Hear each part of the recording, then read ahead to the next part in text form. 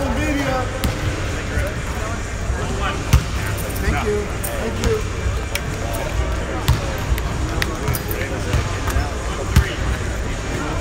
This could all be over in a few days.